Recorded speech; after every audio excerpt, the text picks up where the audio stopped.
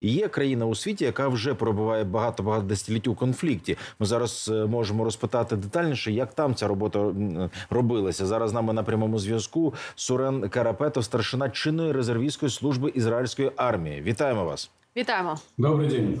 Добрий день. Е, розкажи- будь ласка, як в Ізраїлі це робиться? Як там дітей готують, вчать, е, які м, інформаційні наративи просувають для того, щоб насправді не було знаєте в Україні яка величезна проблема, що тільки невелика частина людей безпосередньо беруть участь у бойових діях, а всі інші таке враження, що і не помічають війни. Але якщо подивитися на Ізраїль, то там кожна людина знає, що є війна, кожна людина знає, що є загроза. Як це вдалося зробити?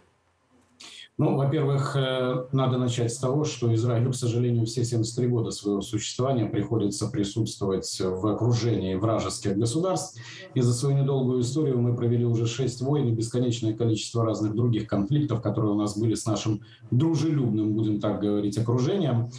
И в принципе, нельзя сказать, что в Израиле есть постоянная атмосфера войны. Этого как раз-таки нет. И, как вы правильно заметили, действительно небольшое количество людей принимает непосредственное участие в боевых действиях, либо в проведении каких-то операций. И, наверное, в этом огромнейшая заслуга того устройства государства, которое у нас есть. То есть война в каждом доме не присутствует. Хотя, конечно, этому посвящено очень много и очень немало.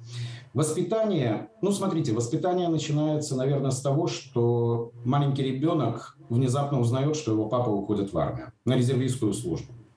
И под этим, скажем так, флагом, да, то есть того, что отец, брат, дядя, дедушка продолжают служить в армии на протяжении всей жизни. Так а чого ж ви Пока кажете ребенок- про при, п- тільки про чоловіків? Жінки теж служать в И ізраїльській армії? женщины, да, у нас есть хороший анекдот. Не страшно, если твоя жена имеет боевой профиль выше, чем у тебя. Хуже, если теща разбирает автомат быстрее, чем ты, и собирает.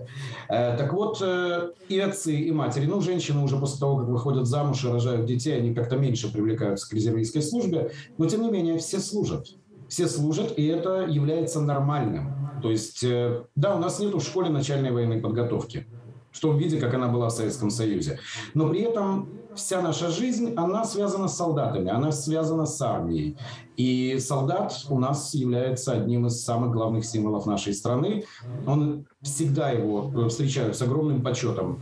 Э, Частый случай, когда в магазинах за солдат расплачиваются гражданские люди, говорят, сынок, сэкономь свои несчастные копейки, вот тебе, пожалуйста. Надо это солдату или не надо, его уже никто не спрашивает. Э, надо сказать, что, в принципе, все наше общество построено таким образом, что первым делом спрашивают, а где ты служил вообще? Да, то есть э, уровень человека, который прошел какие-то боевые части, участвовал в каких-то ситуациях, это показывает и работодателям в том числе, что да, с этим человеком можно работать, на него можно положиться, он умеет работать в коллективе, он, работает, он умеет работать в команде, он умеет ставить перед собой цели и их достигать. Все это родилось не сразу. Все это родилось не в один день. Но израильская армия, армия обороны Израиля, она действительно является народной по одной простой причине, что служат все.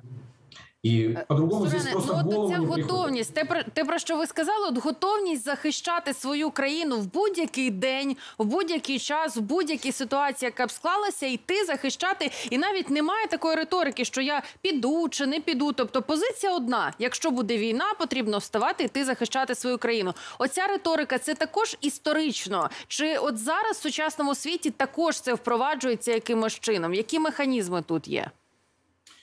Ну, еще раз повторю, это воспитание, это понимание того, что другой страны у нас нет.